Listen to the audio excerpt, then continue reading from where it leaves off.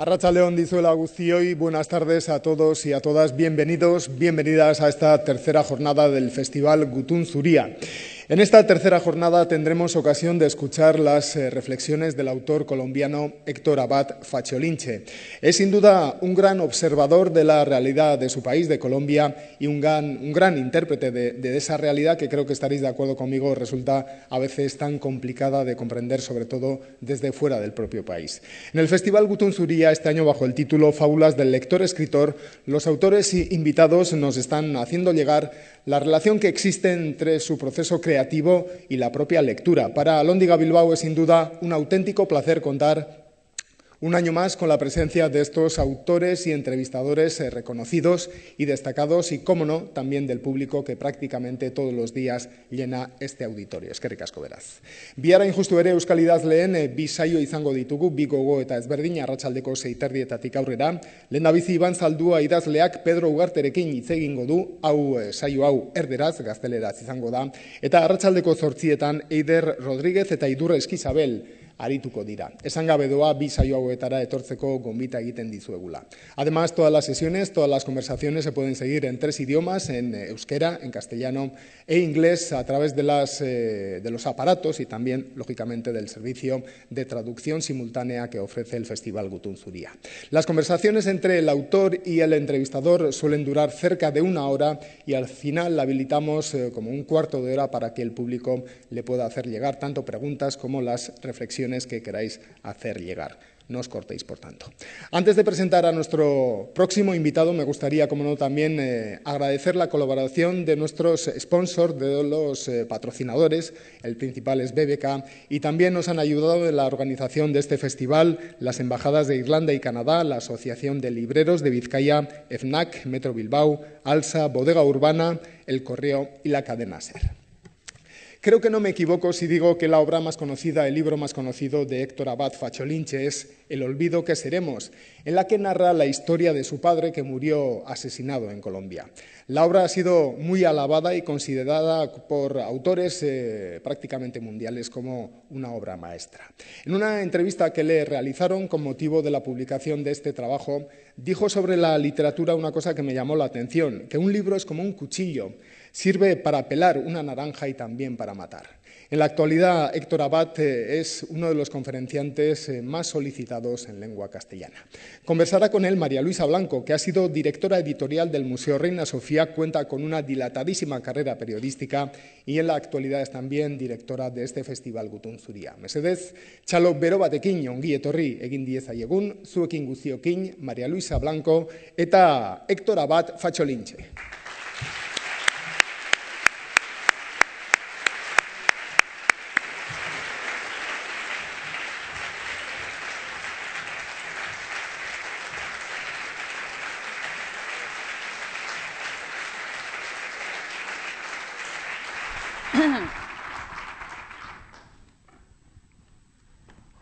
Bueno, buenas tardes. Gracias a todos por, su presencia, que hay que agradecer, creo, doblemente por el magnífico sol que luce fuera.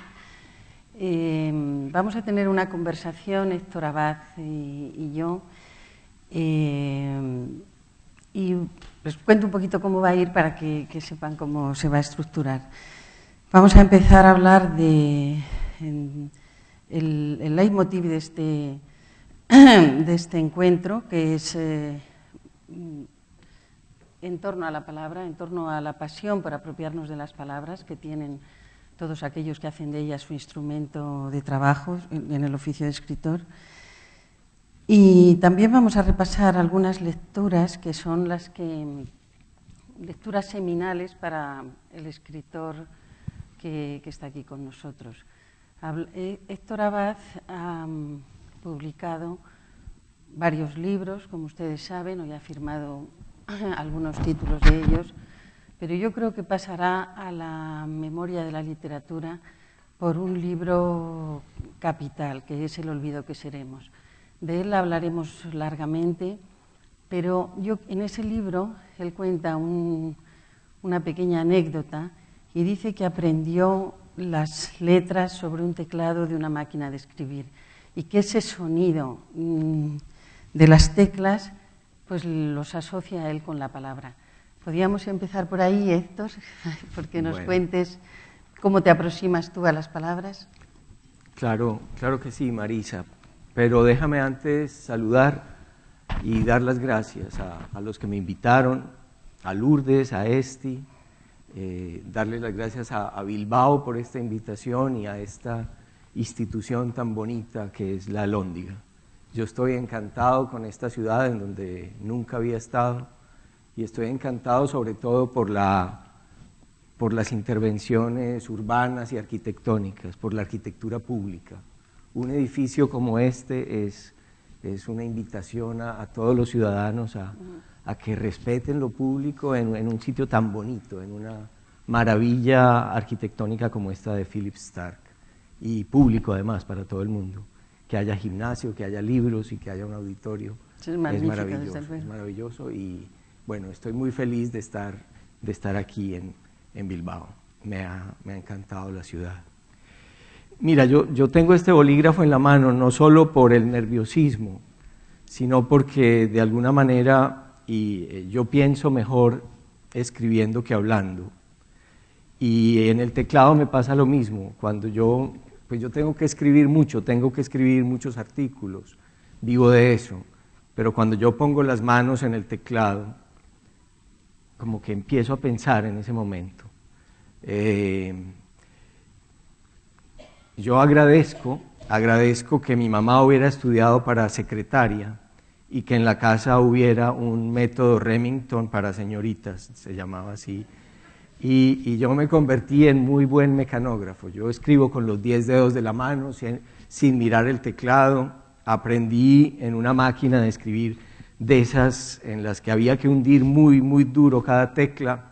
Ahora no, ahora en el computador es mucho más fácil. Pero yo no sé si escribo bien, pero sí escribo muy rápido, muy, muy rápido con, con, los, con todos los dedos de la mano. Y como, a ver, como realmente mi, mi cabeza se comunica mucho mejor con las manos, con la mano, que con la lengua, pues mantengo una libretica, consulto una libretica todo el tiempo, porque no tengo además esa memoria prodigiosa, por ejemplo, como la de Alberto Mangel. Yo tengo que estar eh, verificando los datos, eh, eh, fijándome en, qué es lo que voy a decir. y aprender a escribir, bueno, la, caligrafía es una cosa muy importante, pero también la magia de ir viendo aparecer las letras en el papel poco a poco, siempre como unas hormiguitas que se van ordenando en la máquina de escribir. Hoy en día ya casi nadie tiene máquina de escribir. Regalarle a un niño una máquina de escribir es un juguete que los maravilla. Si alguien quiere hacer un experimento que maraville a un niño, es ir a un anticuario o ir al desván de una casa coger una vieja máquina de escribir y entregársela a un niño. Esa cosa, esas, las letras negras que parecen de verdad hormiguitas desfilando. Con, tus hijos? con mis hijos no lo hice. con mis hijos no lo hice. Yo creo que, bueno, puede que hayan alcanzado a conocer la máquina de escribir. ¿En qué momento tú empiezas a pensar que eso de juntar palabras y, ponerlas en un cuaderno te puede permitir contar una historia y que, y que podrías ser escritor? Eh, yo creo que yo era un niño que no alcanzaba a hablar, porque eh, mis hermanas hablaban más y mejor que yo. Eran mayores, las mujeres en general hablan mucho mejor que los hombres, hablan antes, eh, hablan más fluidamente. Eh, tienen más desarrollado el, órgano del lenguaje en el cerebro que los hombres. Yo no creo que el cerebro masculino y el cerebro femenino sean iguales. Somos distintos biológicamente y las mujeres hablan, hablan mejor, hablan más, hablan más fluidamente, hablan con más gracia. De hecho, hablar con una mujer es mucho mejor que hablar con un hombre. Siempre. Los hombres hablamos de fútbol, de fútbol y de política, es muy, aburrido. Ustedes hablan del amor y de chismes y de cosas mucho más entretenidas. Yo, yo siempre prefiero hablar con mujeres. Pero mis hermanas pues no me dejaban hablar. Yo medio iba a abrir la boca y ya ellas lo habían dicho todo mucho mejor. Entonces para mí eh, la escritura pues se convirtió en un medio de comunicación fundamental. Eh, y cuando mi papá no estaba en la casa, yo, él se iba de viajes por problemas políticos o laborales o algo, pues escribir cartas fue muy importante. Y mi mamá tenía una empresa de administración de edificios de propiedad horizontal y yo en las vacaciones, desde muy joven, desde la adolescencia, iba ya a escribir cartas, con la ventaja de, haber aprendido también mecanografía. Eh, entonces aprendí a escribir cartas de negocios, cartas de recomendaciones, cartas de condolencias, cartas para, el para cómo hacer para que los perros se porten bien, para que la gente recoja lo que los perros hacen, cosas así, que son cartas difíciles de escribir, es un entrenamiento duro y un, entrenamiento también de claridad. Y bueno, y, como a los 12 años, también como en mi casa tenía mucho prestigio, eh, tenían mucho prestigio los escritores, porque mi papá recitaba, porque tenía amigos escritores, poetas, eh, locales.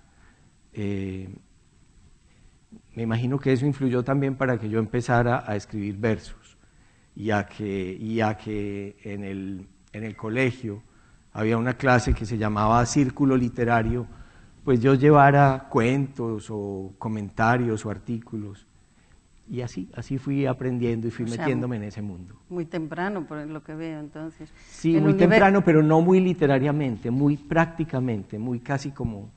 El universo en tu casa era un universo femenino, lo cuentas en, tus libros, eras el único, junto con tu padre, el único varón.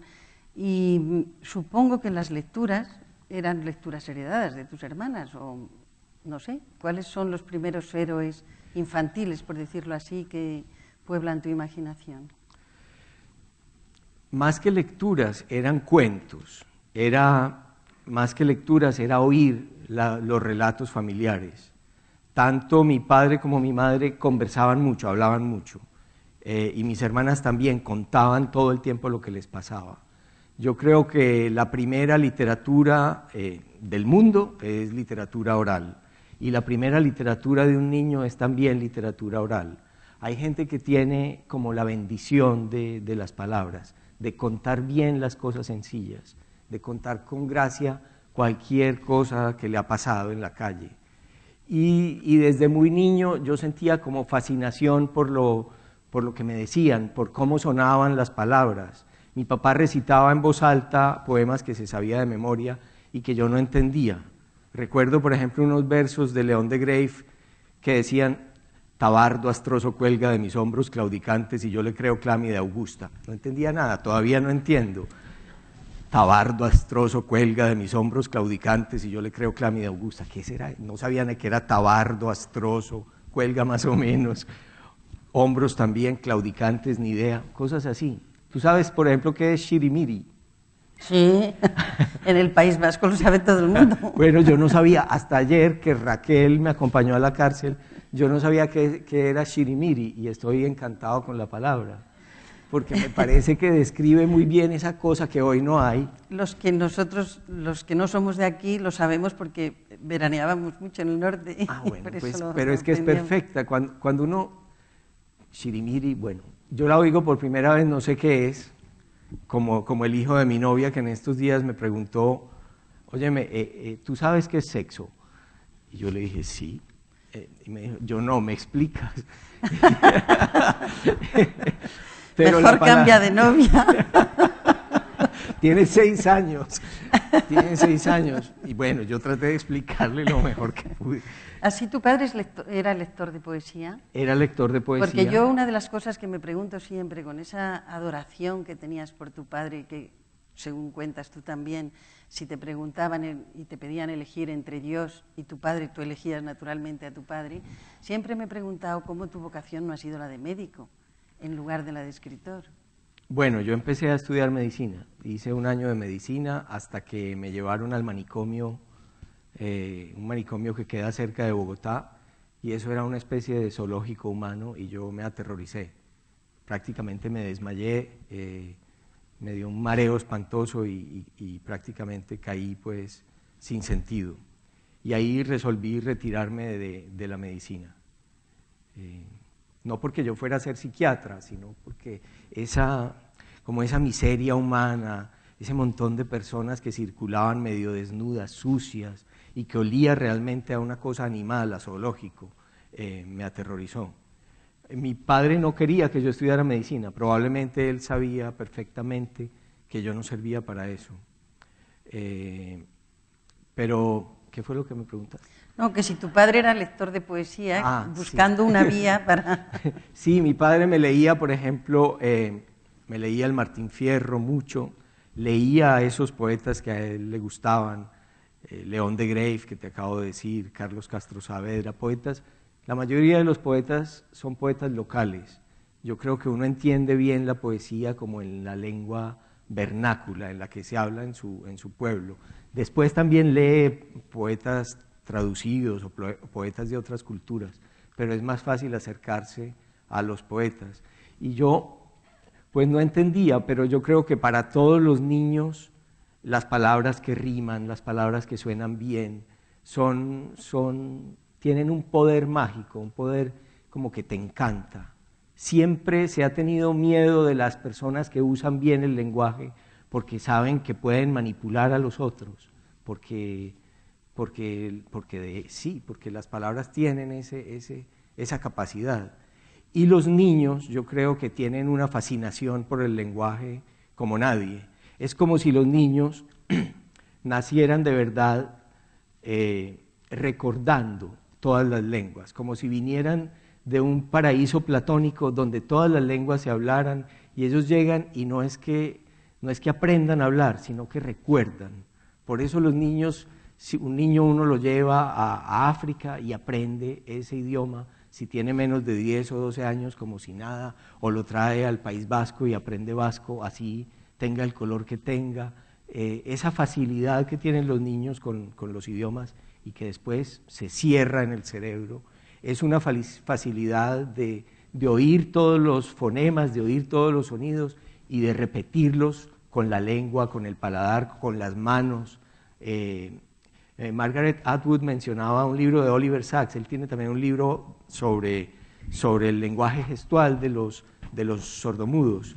Y los niños, que no son sordos, pero que aprenden el lenguaje de los gestos desde muy pronto, pues lo hablan también como, como sordomudos, eh, como si fuera su lengua materna, como, porque también hay, hay acento en, el, lenguaje de los sordomudos, y eso es muy, muy fascinante. Hay como un módulo del lenguaje, hay como un órgano del lenguaje en el cerebro que, que los niños tienen fresco.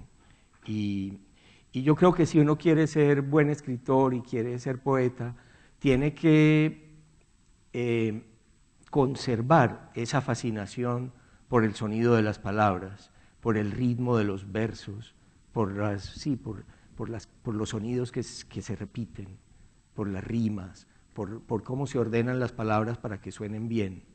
Eh, muchas veces una idea literaria no es, no es tanto lo que ahí está escrito, sino la, manera hermosa en que se ha combinado.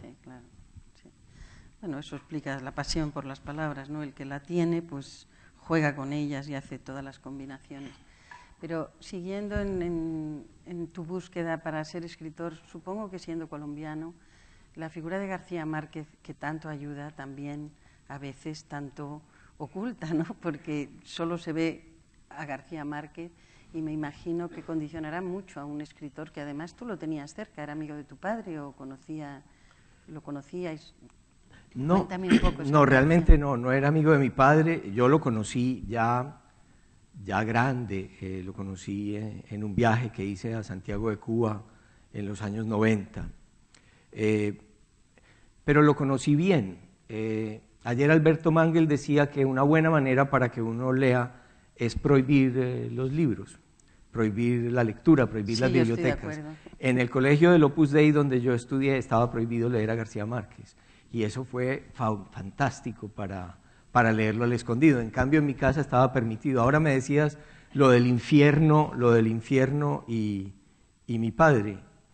Eh, eh, yo tenía una monjita que me acompañaba, eso que cuento en el libro es, es verdad, y ella decía que él se iba a ir para el infierno, él era también como una figura prohibida. Probablemente también yo lo amé tanto porque, porque lo estaban atacando, porque estaban prohibiéndome casi que lo imitara él en su comportamiento, por ejemplo, mm, eh, anticlerical o no, no creyente con las misas y con esas cosas.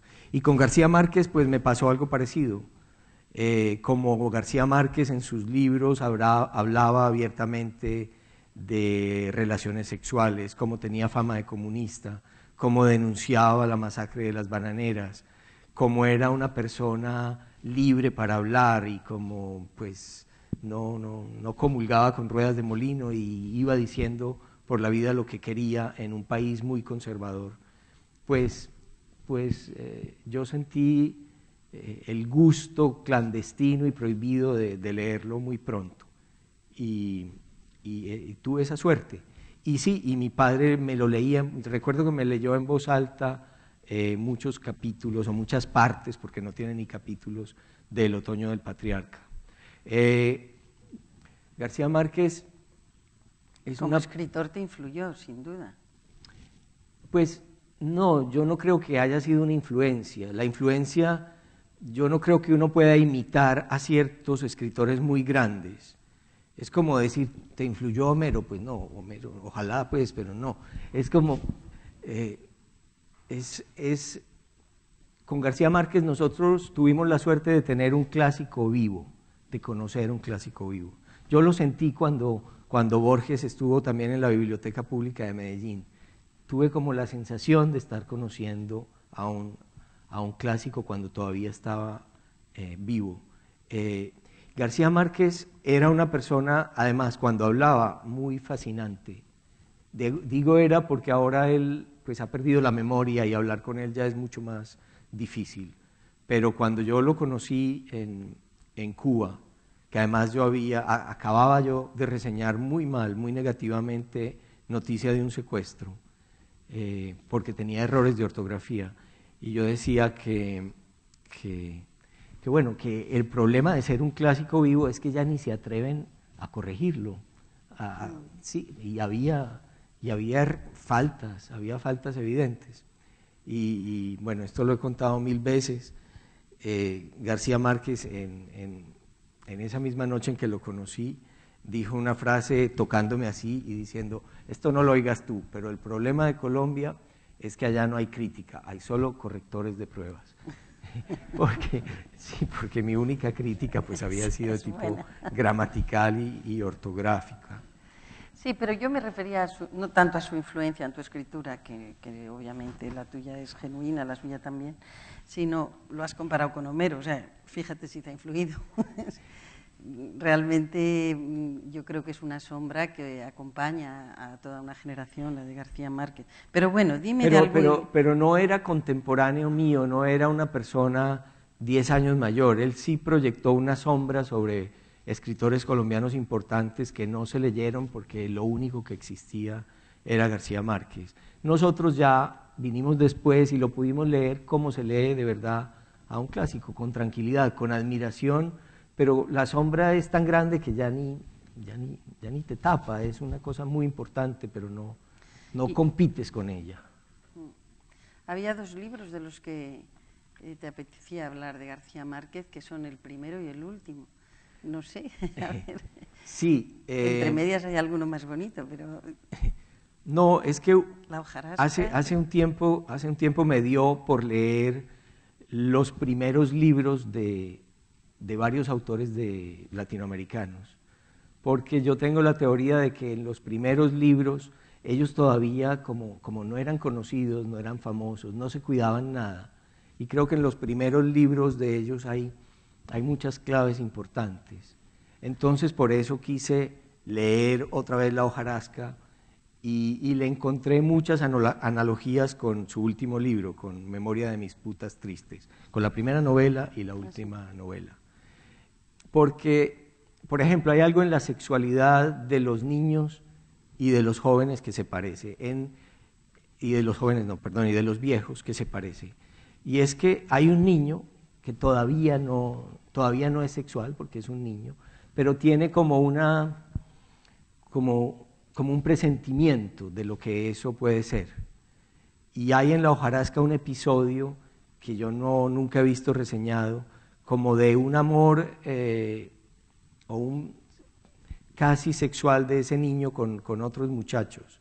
Y es una, una relación de, de, tipo homosexual que, que no se realiza porque son unos niños.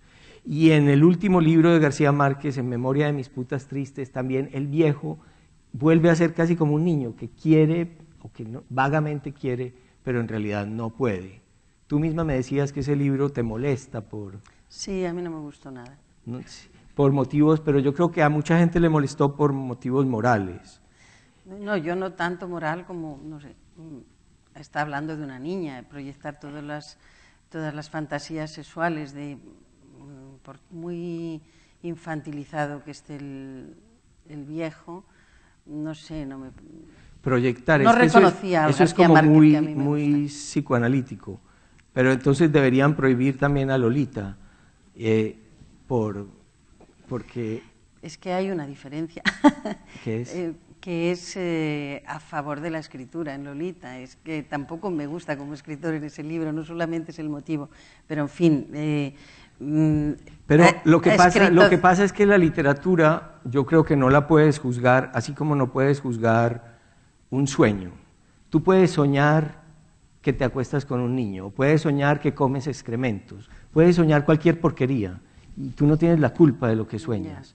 Yo creo que tú escribes muchas veces en un estado como de sueño y no tienes tampoco la culpa de lo que escribes.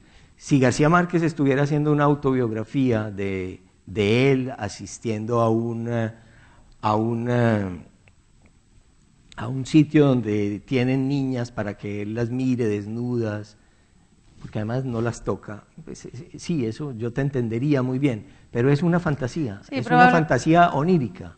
Probablemente coincide la irritación porque el tema no, no, no, interesa, hablo en general, ¿no? y también por el, por el, declive literario, que yo sí lo encuentro. ¿no?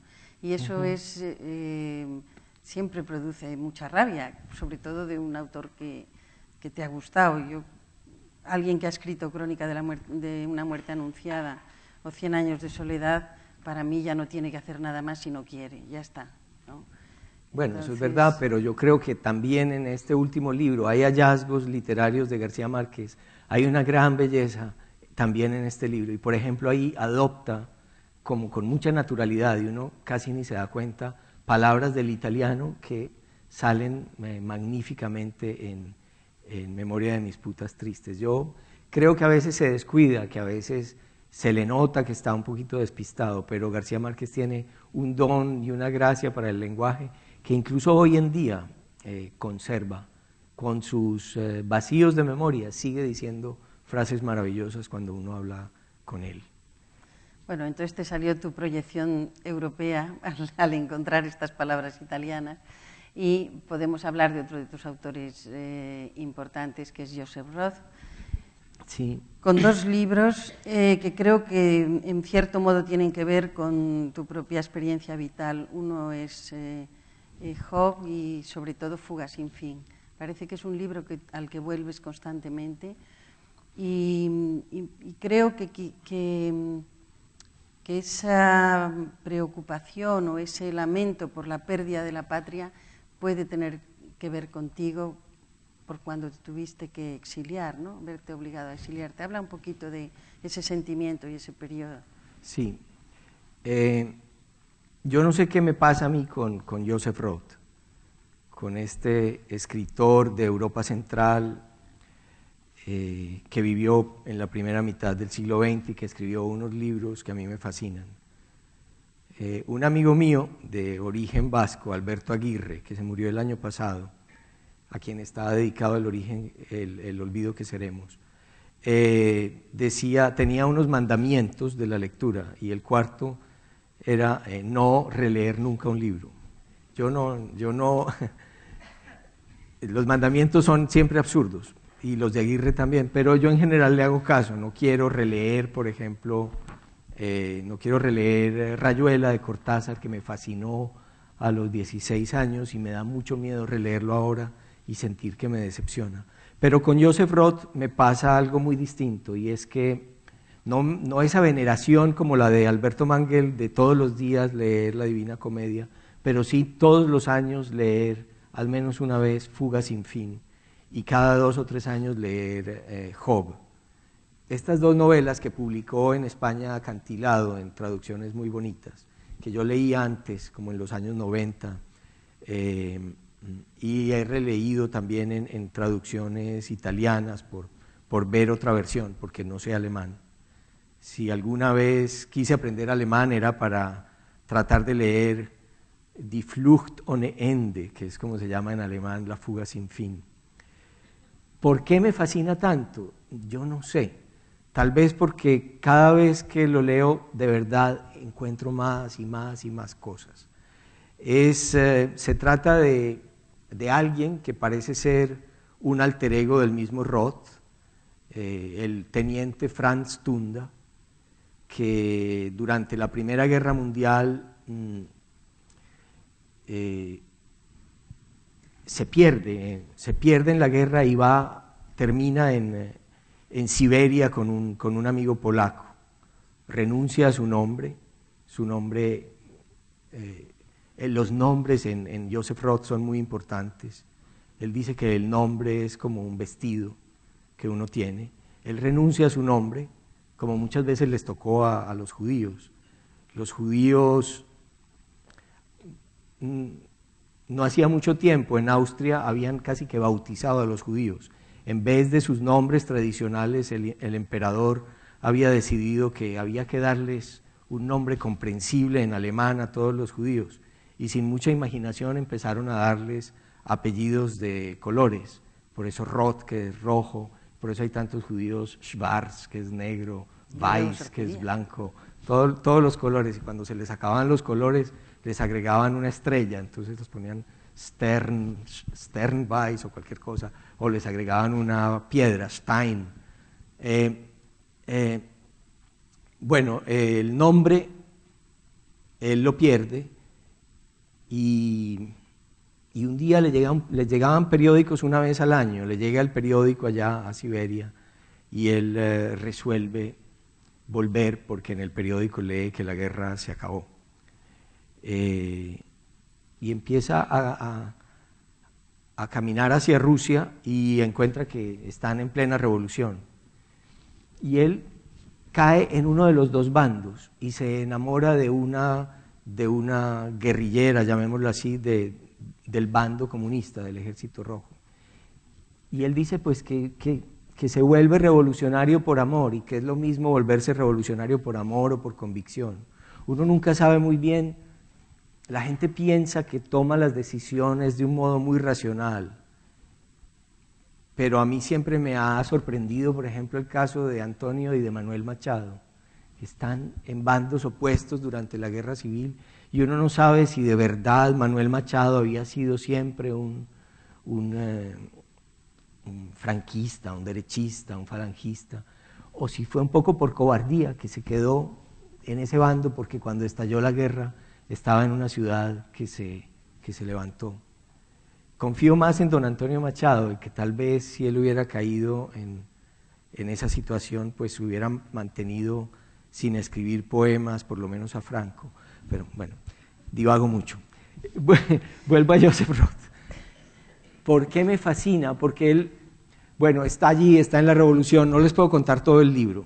Finalmente se casa, se vuelve a casar, siente un hartazgo profundo por, por, por lo que está viviendo con una mujer que, que lo aburre. Eh, va una francesa que, que lo llena de ilusiones y decide regresar a su país.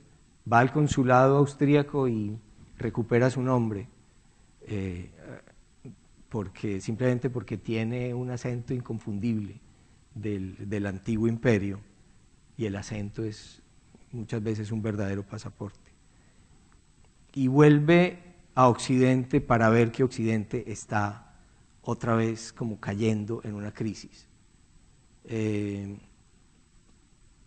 Joseph Roth tuvo la intuición de que, de que venía la, la, Segunda Guerra Mundial, tuvo la intuición de que Hitler iba a ser un desastre, de que eso era el infierno, la, la sucursal del infierno sobre la tierra.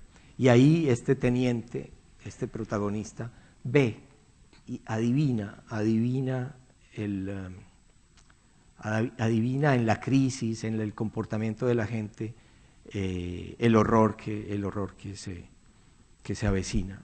Entonces. Pero fíjate en este libro eh, tiene, tiene bastante paralelismo. Yo entiendo que, que vuelvas a él en cierto modo, porque tiene mucho paralelismo con tu forma también de, de escribir, con, con, tu propia vida. Es decir, este libro de Roth es un libro completamente autobiográfico, es la, el, el, lamento por la pérdida del imperio austrohúngaro, por la pérdida de la patria, por, por, la vuelta a algo que ya no existe o la búsqueda de algo que ya no existe.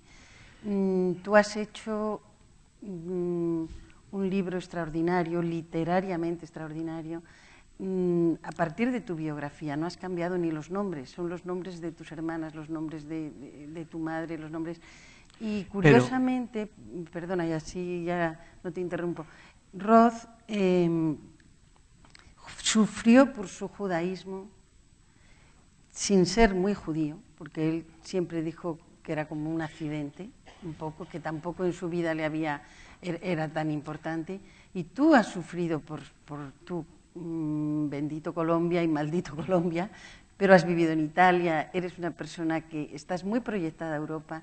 En, ese, en esa melange, no sé si me equivoco, pero sí que veo bastantes coincidencias con, con tu propia biografía, no sé. Sí, lo que pasa es que Roth mmm, no tuvo hijos. No tener hijos te da como la posibilidad de mentir. Entonces él nunca contó realmente su propia vida. Él unas veces se decía católico, a veces era comunista, a veces era monárquico. De hecho, a su entierro, que se murió de beber en París, van un rabino y un cura, van eh, representantes del Partido Comunista y representantes del Partido Monárquico, porque él se inventaba todas las veces que hablaba una biografía. Yo creo que en Fuga sin fin hay una de las versiones de su vida como oficial de, o suboficial del ejército austríaco. Él lo hace de una manera, yo quisiera poder inventar mi vida. Lo, en lo único, yo, yo no soy judío, pero sí sentí, en, cuando me tuve que venir de Colombia, sí sentí algo que yo me imagino que los judíos sintieron. Primero, eh, la suerte de que en ese momento no hubiera visas y que pude venirme corriendo sin tener que pedir una visa. No podía irme para Estados Unidos porque necesitaba un visado. Y al llegar como la discriminación por ser suramericano, que yo no podía enseñar español en Italia porque tenía acento eh, sudaca y no acento español, porque no pronunciaba, vamos, las zetas y, y, porque no usaba el pronombre vosotros. Entonces, entonces yo resolví cuando estaba en Italia para dar clases particulares inventarme que había nacido donde se supone que nació el cabrero español que llegó a Colombia con el apellido Abad, que era en Palencia. Y yo dije, bueno, pues vamos, he nacido en Palencia. y, y, me inventé un pasado así. Y otra vez que vine a Madrid y que era muy difícil que le alquilaran también una casa a un colombiano, como ya había estado en Italia, pues me llamé Héctor Abate y empecé sono diventato italiano per un po'. Eh, esa, esa cosa que tiene el pueblo judío, que a mí me fascina tanto en Roth, en las historias de, de Natalia Ginsburg, de Levi, de tener como siempre ahí las maletas, de no poder enamorarse mucho de un sitio, de tener que cambiar de nacionalidad, de estar buscando pasaportes, visas, papeles, es algo que en una medida muy pequeña eh, padecimos y padecemos los colombianos de alguna manera, porque al ser, al ser de un país de, donde hay muchos guerrilleros, muchos paramilitares y muchos narcos, pues tenemos, tenemos como ya colgado el San Benito de que algo, algo malo vamos a hacer a cualquier parte. El olvido que seremos es un libro que que te ha costado muchos años escribir, que, que, lo llevas gestando desde tus 28 años, que es la edad en, que tú tenías cuando asesinan a tu padre. Y mm, es un libro que es tu propia memoria, la memoria de tu familia, la memoria de tu país. Eh, hay un antes y un después de ese libro. Cuéntame un poco ese libro que ha supuesto para ti como escritor y, bueno, ¿y qué supuso escribirlo? ¿De qué te has liberado escribiendo ese libro? Pues sí, después yo nunca fui una persona política y después de que mataron a mi papá y, llegué aquí escapándome, yo lo que quería básicamente era olvidarme de todo eso, olvidarme de Colombia, incluso dejar de ser colombiano, si fuera posible, volverme italiano, cambiar, dejar atrás eso. Yo creo que a cualquier persona que haya sufrido una, una tragedia de ese tipo, de una muerte violenta y de encontrar a, una de las personas que más amas en un, en un charco de sangre porque alguien lo mató, hay como dos impulsos contradictorios, el impulso de olvidar y el impulso de no poder olvidar, de tener que recordar. Durante muchos años yo lo que quise fue olvidar, como que no quería repetir siempre eso en la memoria. Hace, hace poquito, que hace no mucho que se cumplieron los 25 eh, años de, de ese asesinato, yo fui a hablar a un sitio y yo dije que también yo necesitaba olvidar, que, que me pasaba como le pasó a un, a un artista colombiano muy bueno, que un día eh, saliendo del garaje de su casa, eh, de afán, sin darse cuenta, aceleró y aplastó con las ruedas de su carro a, a un bebé que gateaba, que era su hijo. Yo dije, ¿cómo puede uno vivir con eso? Uno tiene que, fue un error, fue una, algo que, un acto precipitado. Así como él quería, supongo yo, toda la vida, se pasará toda la vida queriendo olvidar, yo también quería olvidar ese, ese charco de sangre, los gritos de mis hermanas, de mi madre, todo. Pero al mismo tiempo sentía el deber de recordar. Entonces, en eso me las pasé. Y, cuando empecé a escribir libros de ficción, en todos los libros de ficción, por ese deber de recordar, metía algún personaje que no venía al caso y que se parecía a mi papá, algún médico, y contaba la historia de un médico al que mataban, o un defensor de los derechos humanos al que mataban, o un hombre bueno al que mataban.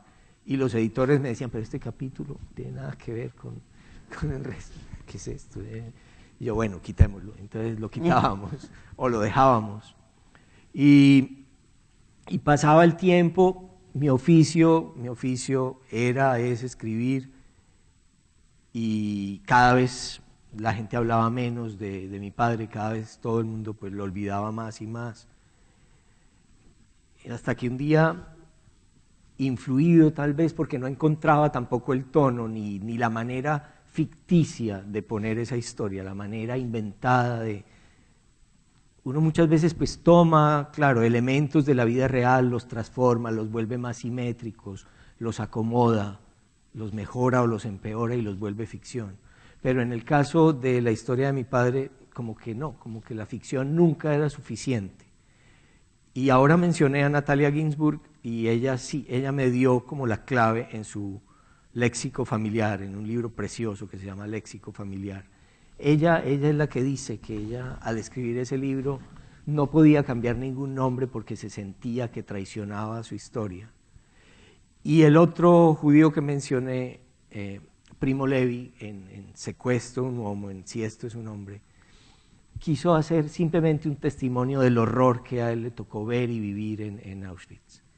Lo mío no era de ese tamaño, ni mucho menos, pero vi que un libro testimonial y un libro como el de Ginsburg, en el que no se cambiaba nada y en el que se escribía con el lenguaje familiar de la casa, era eh, la manera mejor de construir el libro.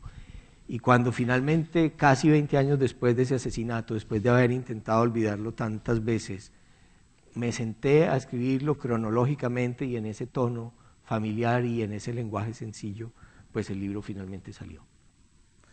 A mí me gustaría que contaras el motivo por el que fue asesinado tu padre. Me parece que por mucho que se repita es hacerle justicia, ¿no? Tú le acompañabas en esas campañas de higienización que él proponía y todo el delito, si se puede decir así, que tu padre cometió fue eso, importar métodos más modernos de higienización sencillamente a una Colombia rural. Bueno, a eso yo lo acompañaba de niño, porque eran, digamos, sus batallas cuando él era más joven, cuando era un profesor que empezaba. Y a eso lo acompañaba pues pasivamente por estar con él, por ir a ver cómo eran esas cosas, de aconsejar cómo hacer un acueducto, cómo, cómo hacer un alcantarillado. Cuando al final de su vida él, vio que, que la, a él le interesaba saber de qué se estaba muriendo la gente. Y cuando él ve que la gente en Colombia ya no se está muriendo tanto de agua sucia, de, de diarrea los niños, sino que se estaban muriendo porque los estaban matando otros, dice, bueno, es que la violencia también es una epidemia. Los están matando, ¿por qué los están matando? Mata la guerrilla, matan, matan los narcos, matan los paramilitares. Y empezó a denunciar a todos los que mataban, como a agentes de una epidemia de, violencia. Eh, y salía a manifestaciones y escribía artículos y protestaba. Ya él ahí yo no lo acompañaba. Esa es una de las cosas graves. Esa es una de las cosas que me hicieron sentir muy culpable cuando a él lo mataron. Porque si yo me hubiera dado cuenta del riesgo que él estaba corriendo por salir a manifestar, pues yo lo hubiera, yo lo hubiera cogido del pelo que no tenía, lo hubiera cogido de la camisa y lo hubiera obligado a irse del país para que no lo mataran, porque era, para cualquiera que realmente lo quisiera mucho era evidente que lo iban a matar. Yo lo que me di cuenta cuando, cuando lo mataron es que yo ya no lo amaba tanto como lo había amado de niño. Si yo hubiera conservado intacto ese mismo amor que yo le tenía cuando yo era un niño, me hubiera dado cuenta del riesgo tremendo que él estaba corriendo por salir a manifestar por los derechos humanos y hubiera intentado salvarlo. Entonces, de alguna manera yo creo que yo también quería olvidar quería olvidar para olvidar esa culpa, la culpa de, no haberlo salvado. Y la única manera que encontré después de, para reivindicarme fue escribiendo este libro y para vengarme. De la única manera legítima que uno se puede vengar de los asesinos es mostrando lo injustos que son. Y mm, respecto a los asesinos, ¿cuál es tu actitud hoy? Bueno, mi actitud es que yo espero no tener nunca que darle la mano, no sé exactamente quiénes son. Son los paramilitares, Carlos Castaño, que era el líder paramilitar, eh, alguna vez reconoció eso indirectamente. Ahora hay unos paramilitares presos que, que están en Estados Unidos que dicen que, que, fue Carlos Castaño el que lo mató, incluso que personalmente participó en el atentado. Eh, hubo un proceso de paz con los paramilitares en el gobierno anterior donde se les dio una, gran dosis de impunidad. Yo estuve de acuerdo con esa impunidad. Es decir, yo no, y en mi familia creo que me acompañan en eso, no pido como la venganza legítima de la cárcel. Pido más bien una cosa más simple, que se cuente la historia, que se diga exactamente cómo fue cómo lo decidieron, qué personas del Estado eh, hubo cómplices de esos actos. Esa fue la actitud que yo tuve frente a los paramilitares y esa es la actitud que tengo ahora también en el proceso de paz con la guerrilla. No tanto, porque en un país en guerra, en un país así, es muy difícil aplicar una justicia plena. Eh, y claro, también la guerrilla ha matado, ha cometido secuestros, crímenes infames, imperdonables. Ustedes aquí me, entienden perfectamente de qué estoy hablando. Eh, estoy hablando de crímenes y de crímenes de lado y lado muchas veces. Y así sean imperdonables, para uno salir.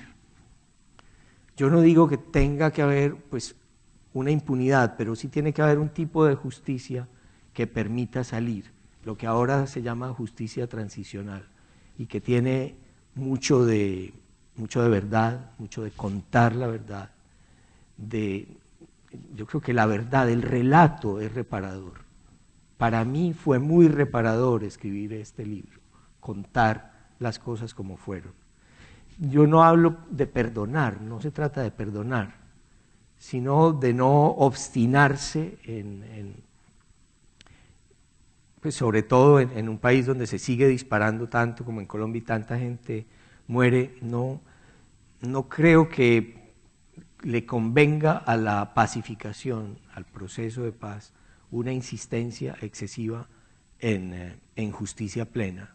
Las víctimas tenemos mucha memoria, muchísima memoria, porque porque como el perro que, se quema o el perro al que lo coge la luz, la electricidad en un alambre y, no quiere volver a pasar por ahí, nosotros, las víctimas, los, los que hemos tenido un duelo de ese tipo, queremos recordar y señalar, insistir.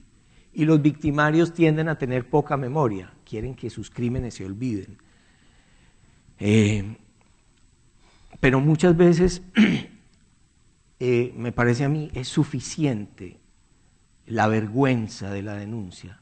Yo creo que ahora que estuve en la cárcel, muchos, muchos delitos y muchos crímenes, no necesariamente la justicia es que la gente esté encerrada ahí, mucho menos por algunos delitos pues que yo vi que es de gente que vende en la calle hachís o chocolate y después pasa años y años en la cárcel pero incluso por crímenes más serios. Yo creo que la, justicia verdadera es como la vergüenza, la vergüenza que ellos tienen que sentir, la soledad que tienen que sentir, el aislamiento, eh, incluso cierto desprecio, cierto desprecio callado. Recordar mucho, tener mucho rencor, es, hacerle un homenaje a esta gente. Eh, odiar es... Eh, Odiar es recordar al que merece ser olvidado. Yo creo, yo, en ese sentido, yo que he sido víctima y las víctimas tenemos tanta memoria, poder olvidar, olvidar a, los asesinos es, es, un acto de, es un acto de desprecio que, yo creo que es una, una buena venganza y una buena justicia y, y la que menos desastres produce en un proceso de pacificación. Yo sé que es polémico lo, que digo, es difícil de, que todas las víctimas se lo acepten a uno. Yo creo que lo puedo también decir porque un cuñado mío lo secuestró la guerrilla dos veces. Es decir, tenemos víctimas de la guerrilla en mi casa y víctimas de, de los paramilitares. Y eso me lleva como a entender los dolores de los dos lados. Sin duda es un problema dificilísimo, pero bueno, tú eres víctima y tienes derecho a expresarlo como tú lo sientes. ¿no? De hecho, tu padre cuando muere lleva, lleva un, polémico, hay que decir, porque ha suscitado polémica, eh, soneto o poema de Borges que habla sobre el olvido y que se llama Epitafio. Eh, ¿Para ti es importante que ese poema sea de Borges? Bueno, en últimas, eh, lo de que se llama epitafio es una traición de mi memoria como nosotros encontramos ese poema en el bolsillo de mi padre cuando lo mataron y como después lo pusimos en la lápida, en la tumba de él, en algún momento a mí se me metió en la cabeza que el poema se llamaba Epitafio. Después descubrí que no, que no se llamaba Epitafio y que eso lo inventó mi memoria. La memoria de los que tenemos mala memoria es una especie de fantasía. Mi papá vivió la vida de una manera muy estética. El hecho de que él supiera que lo iban a matar, y se copiara a mano y se metiera en el bolsillo un poema sobre la muerte y sobre el olvido, indica que vivió la vida de una manera muy estética. Y que si, si se lo metió ahí y pensaba que lo iban a matar, era porque sabía que eso iba a ser un mensaje. Para ahora que en ese momento en que él ya no podía hablar, él dejó un mensaje. Estaba firmado con las iniciales JLB, que tenían que ser Jorge Luis Borges. No estaba no estaba y no está en ninguno de los libros canónicos de Borges, no está en, sus obras poéticas completas. Pero yo le creí a mi papá y puse en El olvido que seremos, que se llamaba Epitafio y que era de Borges. ¿Sí? Bueno. Y cuando el libro tuvo éxito, como el éxito es sospechoso, la gente salió a decir que yo me había inventado la historia del poema que, iba a llevar mi papá un buen poema en el bolsillo, que qué mentira tan grande, y que mucho menos eso era de Borges y que yo quería poner al lado de ese gigante de Borges mi nombre de nano, y en eso estamos de acuerdo. Eh, pero mi padre no era mentiroso, para nada. Y cuando ya me dijeron estas cosas ofensivas, yo me obstiné en saber de dónde diablos había tomado mi papá ese poema. Y, de eso se trata el, libro que publiqué después, que se llama Traiciones de la Memoria, y el primer relato cuenta la historia de, ese soneto y de otros, y de otros sonetos que aparecieron luego. Eh, en el olvido yo había tratado de identificar sin darle el nombre a los asesinos de mi padre. En este libro yo traté de eh, identificar, de reconocer, de buscar quién era el autor del poema que mi papá llevaba en el bolsillo. Y yo creo que logro demostrar algo. Alberto Mangel, que es lector y experto en Borges, no, me, no, lo, no lo he logrado convencer. A muchas otras personas las he logrado convencer. Yo, yo quiero que lo lean, no cuento ahí ninguna mentira. Yo espero que lo lean con un ánimo desprevenido y, y decidan. Y por último, ya que, en fin, y te lo agradezco porque sé que para ti siempre es un poquito, eh, em, es muy emotivo hablar de, este libro. Yo ahora que lo he releído para, esta conversación, el capítulo que dedicas a la muerte de Marta, yo no puedo volver a leerlo porque lloro siempre. Sí. ¿Tú puedes volver a leerlo? Bueno, grabé un audiolibro, grabé un audiolibro para para Colombia, leí completo El olvido que seremos. Y tengo que reconocer que en el capítulo de Marta se me quebró la voz. Y que por mucho que lo volvimos a grabar, quedó con la voz quebrada. Sí, e, ese, esa, es decir, la muerte violenta es antinatural y espantosa, pero la muerte por enfermedad de una adolescente, de una joven llena de vida, es igual de antinatural y de espantosa. Así la violenta la decidan los hombres y la otra la decida Dios, los que creen en Dios o la naturaleza, la insensata naturaleza, la biología, el azar, qué sé yo.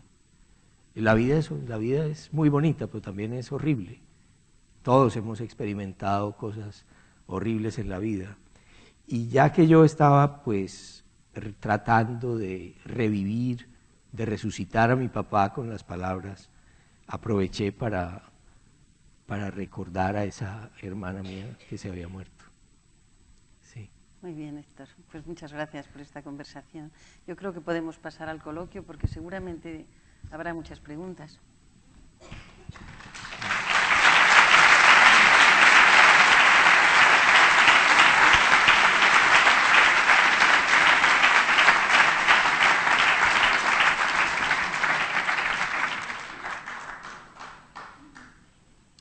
Hola, buenas tardes. Em, he leído en una entrevista que se publica hoy eh, que usted dice que la... ¿Dónde está? Aquí. Ya. Gracias. Eh, que la memoria es poco fiable y que depende de varias cosas, entre otras, si quien recuerda es un hombre o una mujer. Me gustaría que explicase un poco esto. Eh, yo había leído alguna vez que algún estudio que demostraba, bueno, eh, que mm, las mujeres recuerdan más contenidos emocionales o algo así. No sé, ¿usted por su experiencia puede corroborar esto o cómo lo ve? Bueno, yo no soy un experto en, el tema, seguramente un, neurólogo podría saber más. Lo que yo tengo es como conocimientos de, novelista, conocimientos de, de alguien que mira, que observa lo que la gente recuerda, lo que la gente... Uno nunca es el mismo, uno no es el mismo sentado que de pie, uno no es el mismo por la mañana que por la tarde, no es el mismo si hace un día como el de hoy o si hay shirimiri todo el día, eh, calabobos.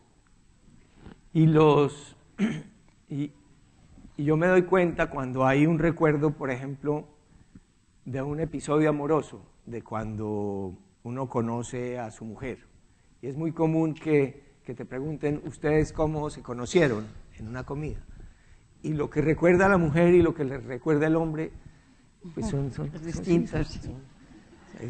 son dos experiencias distintas, de, son, dos mundos. que mi mujer me diga yo qué camisa tenía, pues ¿cómo es posible? Yo obviamente, yo no tengo ni idea de qué, blusa o qué zapatos tenía ella, pero puede que me acuerde del trago que nos tomamos. Bueno, no solo un hombre y una mujer, dos personas. Por eso los testigos son tan poco confiables. Todo lo que pasa está filtrado por el cerebro de cada uno. Y, yo creo que todos vivimos en una especie de fantasía interior. Creemos que vivimos en la realidad, pero como decía Nabokov, la realidad es una palabra que hay que escribir siempre entre paréntesis, entre comillas. Eh, claro, si uno hace periodismo o si uno hace un ensayo como este ensayo sobre el poema, yo trato, trato de limitar las traiciones de la memoria con muchos testimonios, con documentos, con, con libros, con citas de la época, con recortes, con grabaciones, con fotos. Todas esas cosas son las que, las que usa la ciencia también, la ciencia las ciencias exactas o la ciencia filológica para fijar cuál es un texto correcto.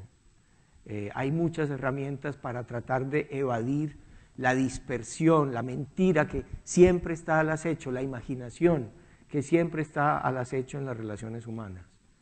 Eh, porque vivimos en, en, un mundo que el cerebro va reelaborando y reelaborando y las palabras también van reelaborándolo y uno no recuerda tanto las cosas como fueron, sino como las contó la última vez que las contó y se va convenciendo de, los propios cambios y de las propias mentiras. En, la misma escritura de este libro, cuando yo sé, les di a mis hermanas a leer el libro eh, y a mi mamá, ellas me dijeron esto no fue así, esto fue así. Y, el relato final es, un entramado de versiones mías y de versiones ajenas de lo que pasó. Yo creo que preguntar siempre todos los puntos de vista es muy importante. Oír siempre en una pelea las dos versiones es fundamental. y, en, un libro, en una novela, ponerse en los pantalones de todo el mundo. Tolstoy detestaba el adulterio, pero cuando se mete en las faldas de Ana Karenina, la entiende, la entiende, y es compasivo y uno se enamora de ella, así Tolstoy detestara ideológicamente el adulterio. Alberto Bueno, gracias por compartir con nosotros estas experiencias tan dolorosas eh, y gracias por escribir esa novela maravillosa del olvido que seremos. E, ese tema tú lo has tratado también en un poema y yo quería hacerte una pregunta y hacerte un pedido.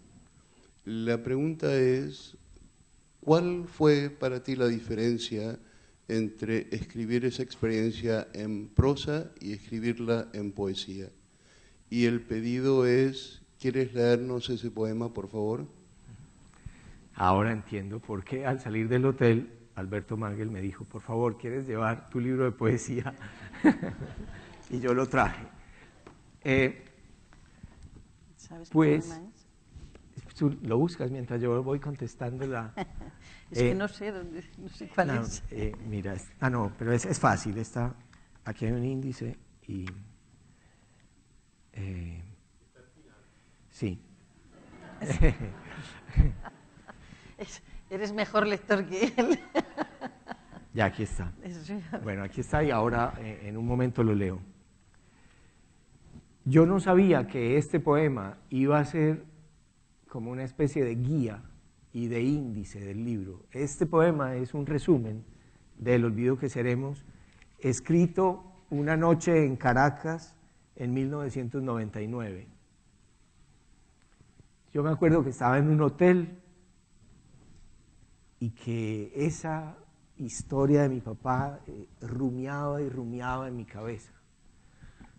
Y de vez en cuando yo soñaba con él o pensaba en él y sentía que, pues, que esa historia estaba ahí, que yo la tenía que contar.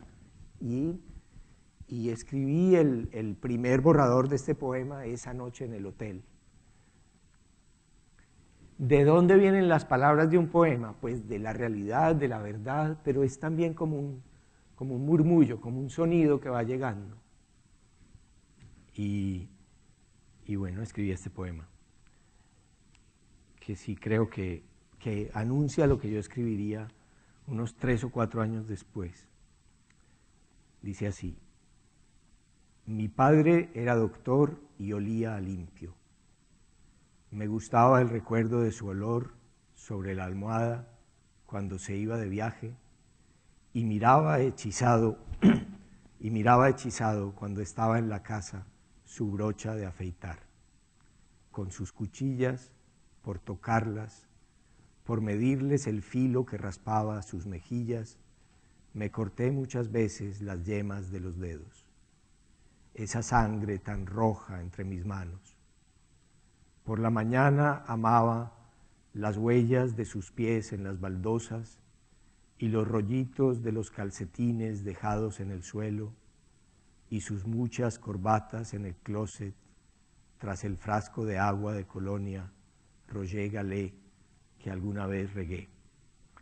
Nunca consideré si era feo o buen mozo, por mucho que los otros mencionaran su nariz de rabino y su cabeza calva no lo consideré, pero cuando mis ojos veían su semblante, para mí era la calma. Yo tocaba tambor en su barriga y desde sus rodillas, en las lentas mañanas del domingo, rodaba piernas abajo por las espinillas.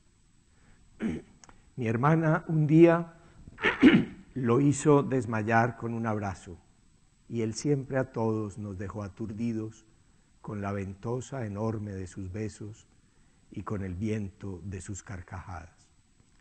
Mi padre recitaba poemas de memoria y me leía en voz alta el Martín Fierro bajo un árbol umbroso de Río Negro. Todos los sábados se ponía un sombrero y en su rosal se hacía jardinero.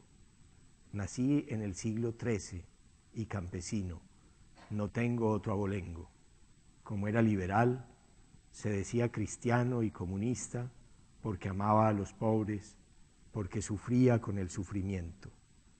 Mi padre vacunaba por las selvas, daba horas y horas y más horas de clase en la universidad y también en las cárceles, participaba en marchas de protesta, empuñando con furia sus pañuelos blancos y publicaba artículos en los periódicos diciendo el nombre de los torturadores, capitán tal, sargento hijo de tal, denunciando secuestros, asesinatos y desapariciones.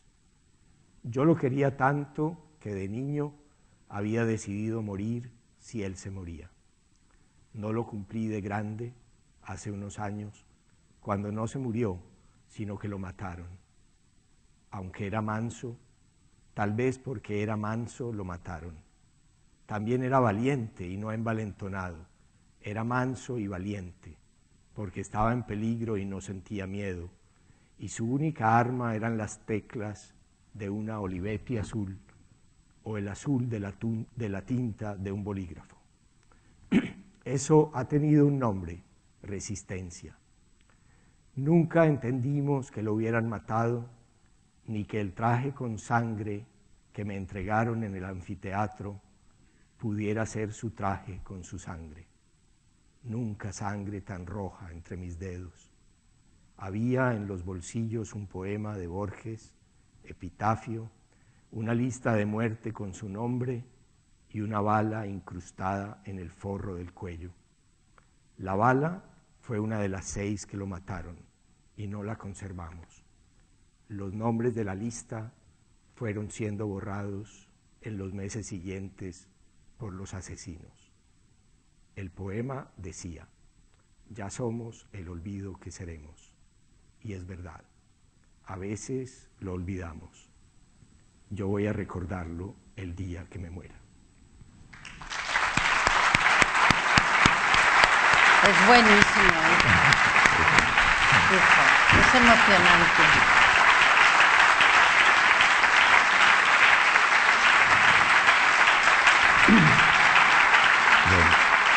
Impresionante.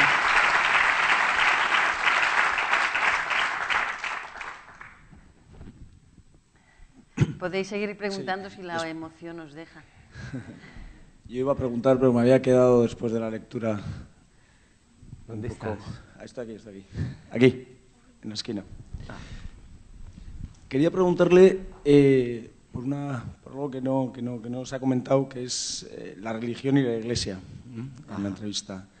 Eh, y quería preguntar cuál ha sido la evolución de, tu, del pozo religioso de, y de educación, de educación que has tenido y de esas vivencias que tenías tan en tu casa llena de rosarios y llena de, gente muy religiosa. ¿no? Y luego también, en concreto, por la, eh, por la iglesia colombiana y por la actuación de la iglesia colombiana con ese episodio del, del, cardenal que llama para que no le puedan hacer el funeral. ¿no? Em, ¿qué, opinión, ¿Qué opinión tienes después de, ya después de unos años de esa actuación de la iglesia colombiana? Eh, en el conflicto y en el, en, el, conflicto colombiano, de lo que aquí también sabemos algo, ¿no? por, la actuación de la Iglesia. Bueno, es, es muy raro haber sido educado por una madre mística casi, que iba a misa todos los días y que todavía va a misa todos los domingos y fiestas de guardar, y por un padre que era agnóstico. Eh, Richard Dawkins, este, el biólogo inglés, dice que, que, un ateo y un creyente no se pueden poner de acuerdo en un semidios. yo entre el agnóstico y la creyente soy hoy en día un ateo manso, me defino como un ateo manso, un ateo no militante. No puedo sentir ningún desprecio por los creyentes porque respeto muchísimo a mi madre y digamos que de alguna manera también en política me ha pasado algo parecido. Eso me lleva a tener unas opiniones políticas como de centauro, de, patas de una cosa y cabeza de otra cosa, porque mi padre era socialista, creía en lo público, estaría entusiasmadísimo de que este espacio, este edificio, sea un edificio público, defendería todo lo público. Y mi madre, que era huérfana, y había sido muy pobre de niña y nunca quiso volver a ser pobre, fue una empresaria. Entonces tengo también respeto por, eh, por las personas capaces de emprender algo, de esforzarse y de trabajar mucho y de sacar adelante una empresa. Si quieren, llamemos eso capitalismo, pero por lo menos iniciativa individual. Entonces, eh, si tengo algo de socialista, siempre defiendo también la iniciativa individual por esa educación esquizofrénica en lo religioso y en lo político que recibí en mi casa. Yo tuve una época muy anticlerical, de hecho me expulsaron de la universidad por escribir un artículo contra el Papa, en un artículo que se llamaba La metida de Papa. Eh, cuando el Papa, sobre todo yo tenía muchas dificultades en, la, a los 20, 25 años, en plena efervescencia hormonal, con las encíclicas papales sobre el sexo y con la obsesión de la Iglesia Católica por el sexto mandamiento. Es como si los católicos muchas veces pensaran que el único pecado que existe es el pecado sexual. Y son, en este momento hay funcionarios en el gobierno colombiano que son muy católicos. hay uno que es el procurador que es carlista, eh, en el sentido español de la palabra, lefebrista, pertenece a la comunidad de Monseñor Lefebvre. Es un fanático loco que vive tronando contra el matrimonio homosexual, contra el condón, contra el control de la natalidad, contra, contra, contra cualquier eh, liberación cultural que ha tenido el hombre en, el siglo XX y las mujeres sobre todo. Entonces yo tengo como cierto respeto por algunas personas de, la iglesia, curas, amigos incluso, que, tienen una actitud mucho más tranquila en, en, ese, en aspecto que creen tal vez en, algo que dijo Borges alguna vez, que la única manera de superar una tentación es caer en ella. Muchos curas, como nunca caen en la tentación, viven obsesionados con el sexo, viven y viven y no hablan de otra cosa. Y es una, si cayeran finalmente en la tentación, a lo mejor no les parecería ni tan bueno y estarían más tranquilos. Eh, ahora en la iglesia yo creo que hay muchas corrientes y muchas disputas internas en lo doctrinario, en lo sexual, en lo político, en todo. Yo lo miro siempre con, curiosidad porque sé lo importante que en una sociedad como la colombiana es esa institución.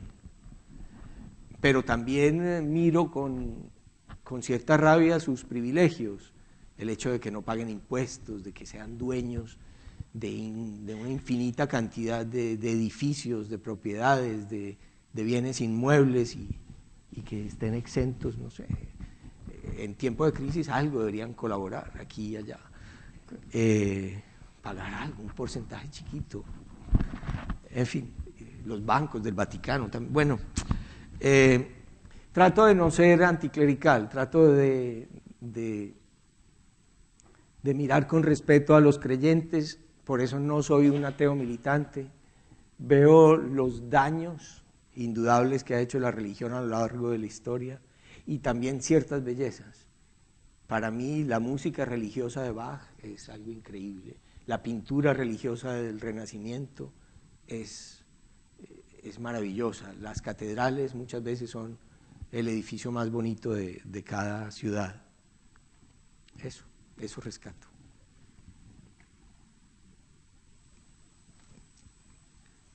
Buenas tardes. Yo le quiero decir que su libro a mí me emocionó y tanto en el contenido, porque creo que es eh, una historia vital, contar una vida a pleno, pleno furor, con mucho encanto, mirando a la solidaridad con la gente, eh, el descubrimiento de no la medicina como receta, sino como el compendio general de ir a la causa principal para no llegar a la medicina de alguna manera. Y todo eso me pareció fabuloso, ¿no? Otra cosa que yo valoro de su libro es el lenguaje. Es un lenguaje fácil, pero a, la vez culto y que suena muy bien. Y dentro del libro hay una cosa que me llama mucho la atención, que son todas las enumeraciones que hace, que son un montón de ellas eh, me gustaría saber un poco qué es lo que pretende con esas enumeraciones, si es que tiene que contar muchas cosas y quiere de alguna manera reducir la escritura. Y la segunda parte quería hablar un poco porque yo quería hacer una vez, hicimos una recitación sobre la emigración y, fue curioso porque cogí una antología de autores, de poetas colombianos y me llamó la atención que nadie en sus poemas decía nada sobre la violencia ni tampoco de la emigración. Entonces no sé si es que obedece a que esta es una clase elitista la que escribe o no. Entonces quería un poco el tema de las enumeraciones y el tema de estos dos casos que le he comentado, que me explique un poquito. ¿Se acuerda de alguna enumeración? Es que yo no lo tengo muy presente. Yo es que lo he leído hace ya tiempo y tal, pero sé que había bastantes enumeraciones y además me, me llenaron, pero claro, ahora en este momento no le puedo decir, no lo he vuelto a releer el libro. ¿eh? Ya, bueno, entonces sobre las enumeraciones no voy a poder contestarle muy bien porque yo no escribo de una manera estilísticamente muy consciente.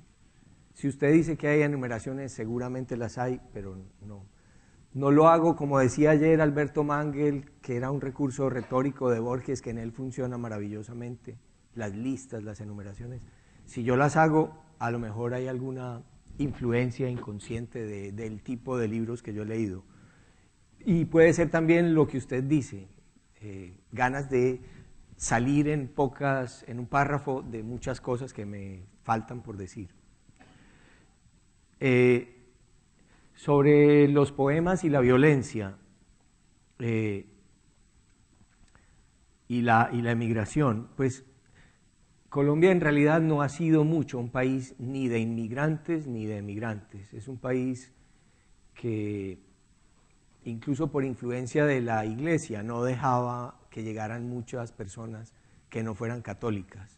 Cuando llegó algún anglosajón tenían que ser irlandeses porque eran católicos, que llegaron a algunas minas de Antioquia. Y, eh, y poetas exiliados que yo recuerde, no, pues sí, digamos que Porfirio Barba eh, a finales del siglo XIX se fue a vivir a Centroamérica y a México y habla un poco con nostalgia de, su tierra, pero no, no, no, no, me parece que ese tema fuera muy importante en él. Eh, yo no sé, yo, yo no sé por qué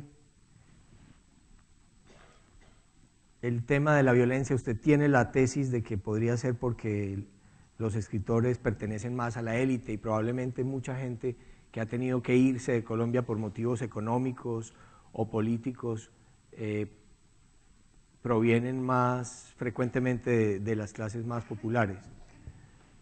Puede que sea eso, pero ya tendrían que haberse cultivado también en otras partes. No, no, no les sé dar una respuesta. No les sé dar una respuesta. Una última pregunta, ya sí hay alguna. Eh, aquí, eh, Héctor, buena tarde y gracias por estar aquí, por darnos ese gusto. Eh, como te darás cuenta, soy colombiano también.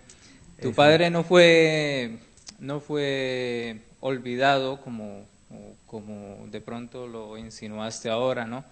Yo creo que como persona, como persona importante e influyente en el país, eh, sigue siendo recordada.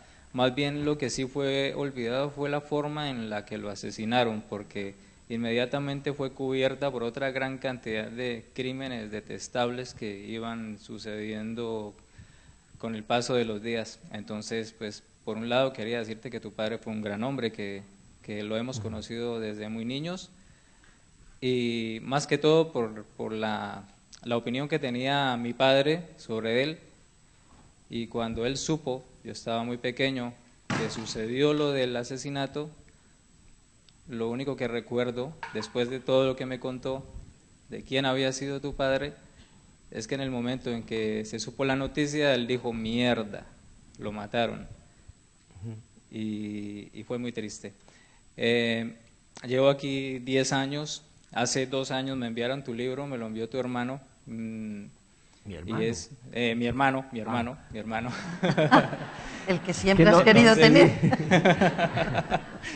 Entonces es un libro maravilloso y, también me lo enviaron porque describe en gran forma y el, afecto que hemos sentido por nuestro padre que se ve reflejado en este libro. Bueno, la pregunta que yo quería hacerte, no sé si venga, si, si sea muy acertada, pero pues de todas formas la voy a hacer. Eres libre de contestarla. En estos días en Colombia ya has visto que se está gestando lo de los diálogos eh, de paz con la guerrilla hubo una marcha, no se sabe eh, exactamente qué, qué función tenga.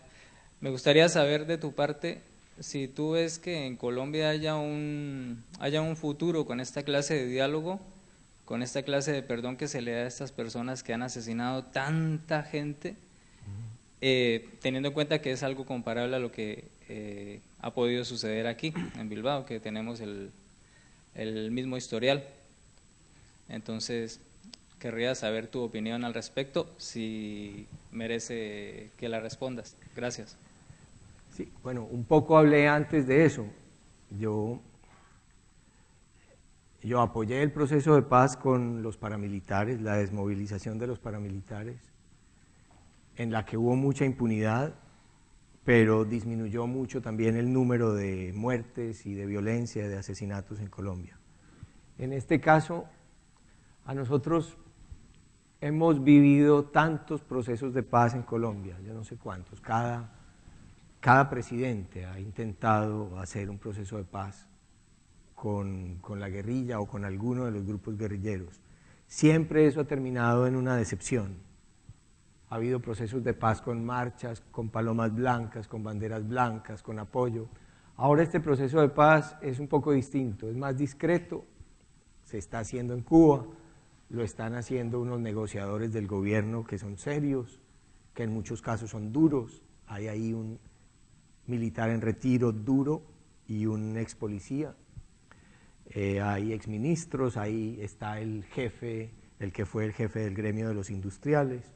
Del otro lado está la guerrilla también con la gente más ideológicamente más fuerte. Yo creo que en este momento los que más interesados están en firmar la paz son los de la guerrilla por el contexto internacional político de, América Latina y concretamente por el movimiento bolivariano que ha llegado al poder en varios países latinoamericanos por vía electoral. Creo que ellos se dan cuenta de que a través de las armas nunca van a llegar al poder en Colombia, que su poder, que su apoyo, que el apoyo popular es mínimo del 2 o 3% solamente de la población apoya a la guerrilla y yo creo que pues quisieran eh, pasar a, a, competir electoralmente y democráticamente eh, a defender sus ideas por ese camino. Eh, creo que el contexto internacional es favorable y me parecería que si eso se logra concretar, incluso con dosis de impunidad parecidas a las que se les dieron a los paramilitares, pues eso sería bueno, contribuiría a la pacificación y a la disminución de la violencia en Colombia. En ese sentido, y teniendo que tragarme el sapo de, de mucha dosis de impunidad, prefiero ese proceso de paz a la ausencia del proceso de paz. Eso es lo que puedo decir. Muy bien. Pues gracias.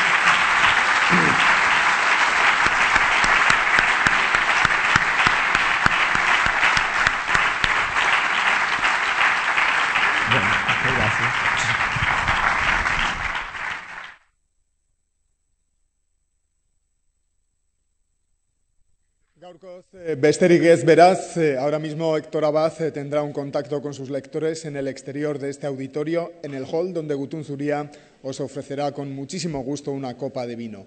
Bihar eta datozen egunotan ere elkar ikusiko dugulakoan, eskerrik asko eta gabon pasa.